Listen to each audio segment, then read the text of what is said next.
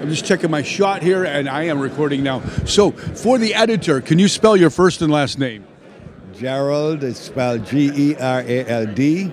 Last name is Pinnock and it's spelled P I N N O C K. Yeah, very well. I have to look at my driver's license. That's amazing. This is starting off very well, Gerald. what company are you with?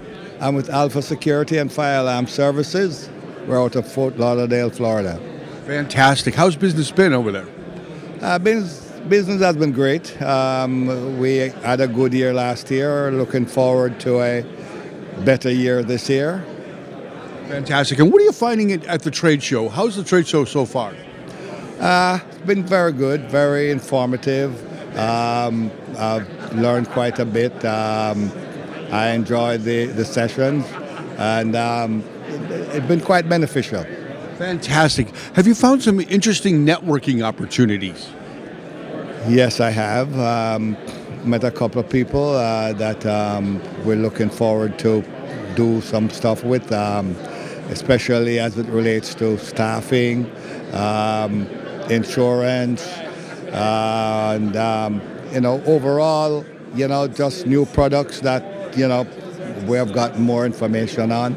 You know, so it's it's been good. It's been good. Fantastic. Uh, let me ask you this question here: If you were, if someone was on the fence about coming to the trade show, what would you tell them to get them here? I would say it's a very educational experience, and um, you get a, an opportunity to meet people of your peers and um, learn a lot from them. You know, by just networking, you there's so much to be gained. You know, by just talking to people in the same industry. You know, um, that may probably do things a bit different from you, but you know, just by talking to them, you you, you get a lot of ideas. So let me ask you a personal question: You coming back next year? I not next year. I don't. I won't be here for next year, but um, for the following year, I expect to be here, especially because my license will be up for renewal, and I need those credits. yes, you do. so there's an ulterior motive, as we see. and um, just two, two more questions, if you will. Um, what are you finding?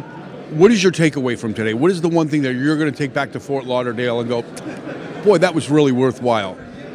Um, I, I think mainly the the session this morning with the um, the, the, the disciplinary committee. Um, My battery died. I'm sorry. I got one in my pocket. okay. Sorry about that.